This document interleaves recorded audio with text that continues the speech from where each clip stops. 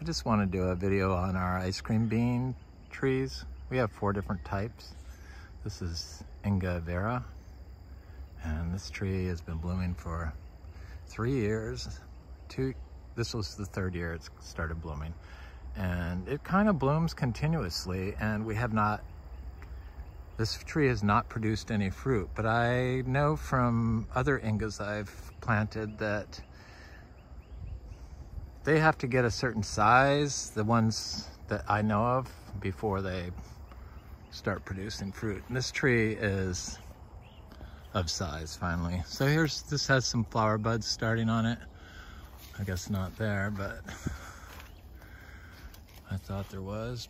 I don't see any at the moment, but it's a. Uh, I like some of the ice cream beans. I've tasted them. Some are like uh, really small and don't have much flesh, but I planted one in Brevard, North, uh, southern Brevard County that produces fruit after about, I don't know, six years it started producing fruit. And it's a Fuelia, I guess and the fruit's very good on that. So I think it's worth growing just for fruit resale. Seeds, definitely. Um, and people uh, like it because it's they think it fixes nitrogen. And I've been watching uh, Green Cover Seed on YouTube. I guess it's on Facebook also. Uh, the Dr. Christine Jones uh, webinars and all the stuff that I've been ranting about on the Tropical Fruit Forum under Frog Valley Farm. And on this, it's finally being explained by her why it works. So it's not really the tree that fixes nitrogen, it's the bacteria and archaea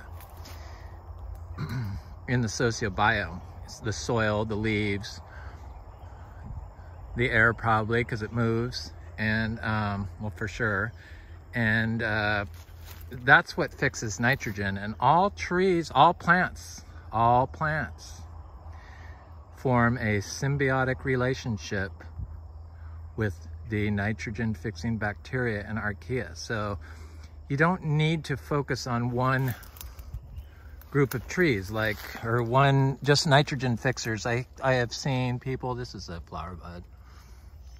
I've seen people uh, plant peanut, perennial peanut as a monocrop. And what she's saying is that actually damages the system, the monocrop. You need at least four different distinct plant groups in your orchard floor dicots, monocots, meaning grasses and herbs, perennials and annuals. And just uh, the more you can do, the better because diversity equals intelligence for all life. So the diversity in the soil is a living system that promotes and generates life above ground. I'm just fascinated by her recent lectures. They just like, I feel vindicated of all the stuff I've been talking about, about the multiple species in the, the orchard floor being important. And in Florida, you don't even have to plant them. I didn't anyway. They just show up. I'm sure we have more than 40 different species in our orchard floor easily. Not all at once, but throughout the year. Because they show up at different times, some of them. Some of them show up in different areas.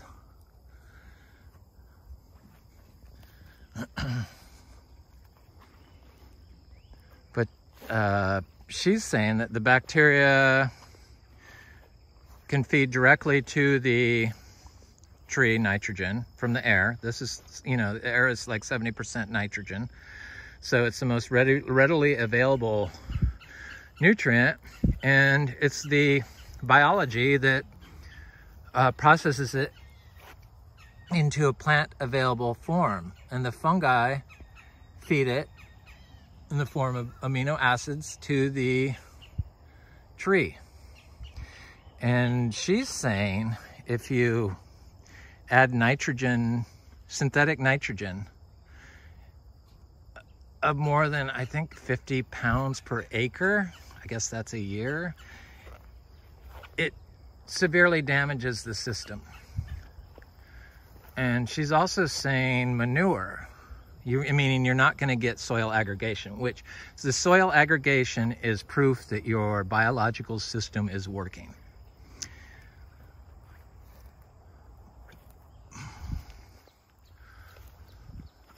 Can't wait to start eating mangoes. They're getting big, some of them. We got a lot, a lot of mangoes. More many mangoes. That one's not gonna make it. Uh, oh, I love man Azil's mangoes. Love them.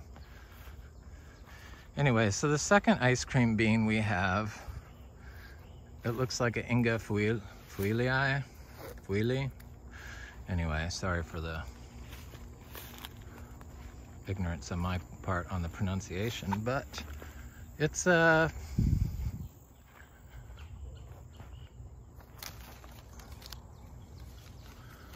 it's a big tree also but it's uh has been only been in the ground for four years but this year it really took off. None of these we don't do anything for uh cold protection it's just it the biology has to make it live the biology can if you have a healthy biological system, it can handle temperatures below freezing without killing the trees. I've seen it.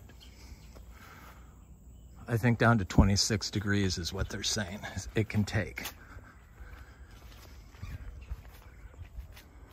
Anyway, it's like a power grid. It starts shutting down plants. So uh, the most susceptible, the little ones, and then they provide energy that they feed back to the other trees. The heat, the, the death creates heat when the biology is with it or, you know, in the system.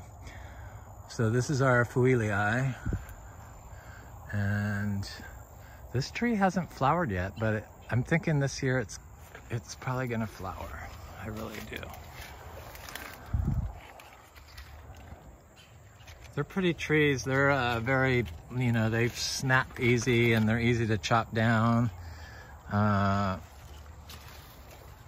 but um, they're important and for our fruit sales, that's, they're good fruit. This one in particular is the one, same one I have it, uh, maybe it's a different one, but it's close to the one I, I had first planted in Grant, where I practiced a lot of organic stuff, but didn't really define our system until moving here.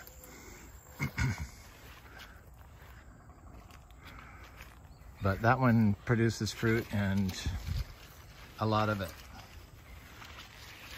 And I guess it's about, I don't know, it must be 10, almost 10 years old now. That's in Grant. They didn't get as cold as we did, and they're a lot further north. I don't know. I was a little shocked, the cold. So then we have a Inga spectabilis, which I got, I bought seeds from, I buy seeds from Fruit Lovers Nursery in Hawaii. I like his seeds, Oscar. Um, a lot of times he may not have the seeds, so he doesn't send them to you. Eventually he sends them to you. Uh, I just have been happy with his seeds, so I continue to buy from Fruit Lovers Nursery for seeds. um, and we got Inga spectabilis, which I need to get over there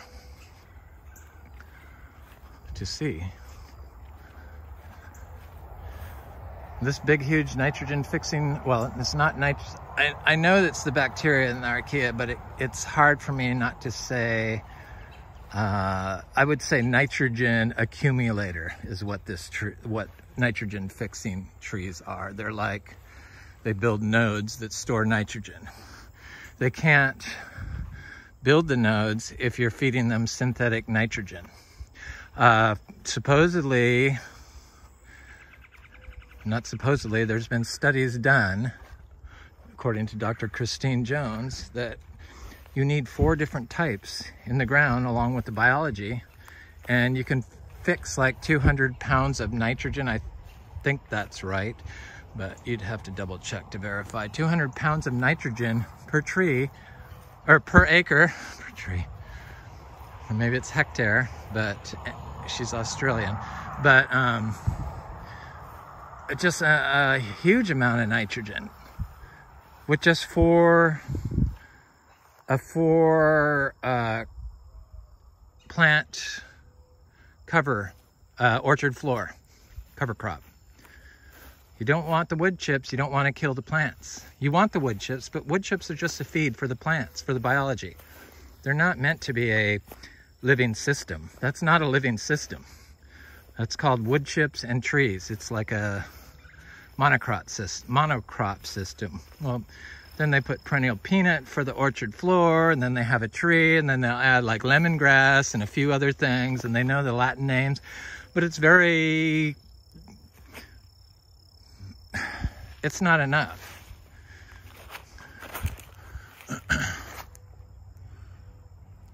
diversity, you need the diversity. So here's our uh, Inga spectabilis. Inga spectabilis is sensitive to cold, but this tree didn't get damaged and it looks like it's finally taking off this year. And this one's supposed to be a really good fruit, Inga spectabilis.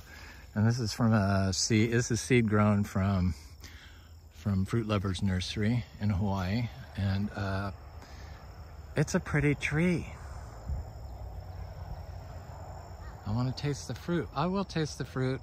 I'm crossing off all these tree fruits off my list of of uh, fruit I need to taste and try and evaluate. So I have tasted ice cream beans. I've tasted a, a bad one and I, well, it was, I wouldn't plant it. And I tasted a good one, which I would plant. So I know that there's ice cream beans that are better than other ice cream beans. And I need to taste them.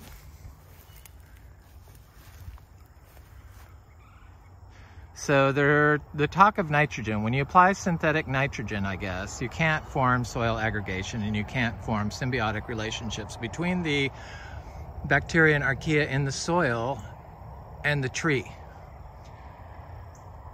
because this tree has excessive amount of nitrogen that's it has available so it doesn't even bond, form a bond with the biology around it in its sociobiome. And the whole key to it is diversity and soil health. Exactly what I've been like raving about like a lunatic basically. I just want people to see how easy it is and you don't need to pollute you don't need to poison your food with pollutants. Pollutants cause chronic disease. It's free too. This is a free, basically a free system because she's saying not to even use manure, cow manure, zebu manure, which I swear by. I don't know if her studies were done on, she's referring to cattle that were not biodyna biodynamically farmed and uh, holistically farmed. And so I'm not sure where the manure source came from, if it was just uh, organic was their standard, which really is not a standard. it needs to be higher than that. That's just my opinion. So then we have one more type of ice cream bean. So all where these little mangoes froze, I've been putting bananas and mulberries and sugar cane in there.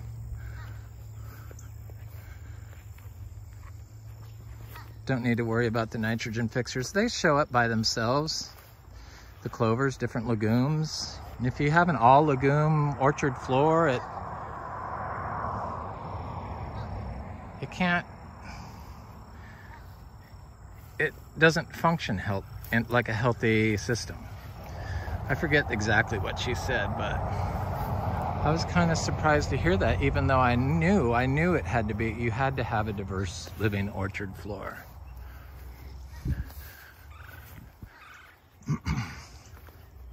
A living soil is not one plant. You have to have a, a multitude of species to have living soil. Diversity is intelligence when it comes to soil.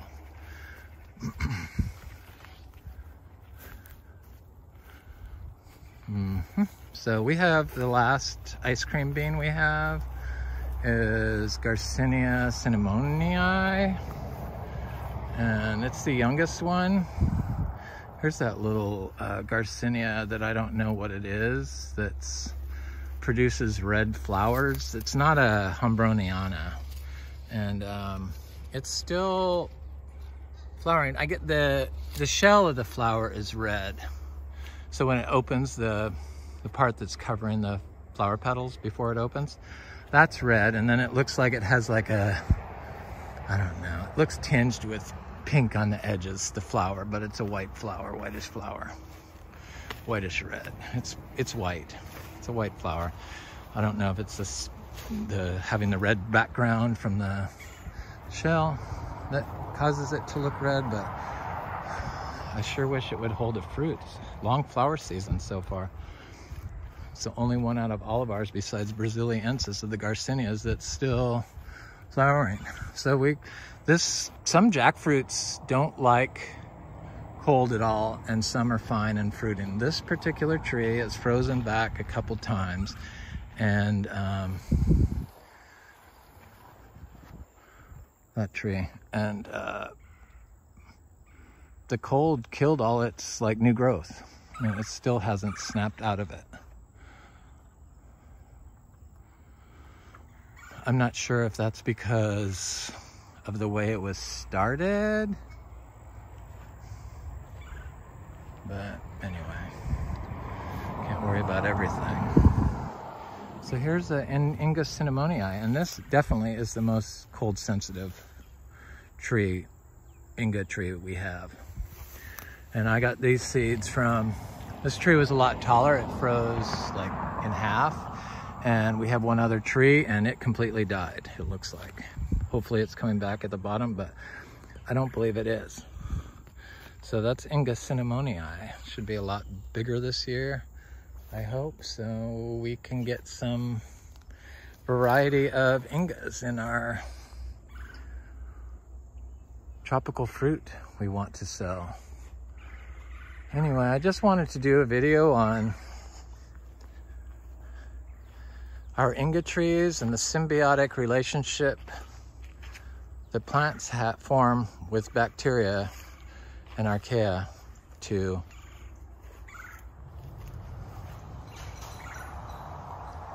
get nitrogen out of the air. Anyway, that's it. Have a good day.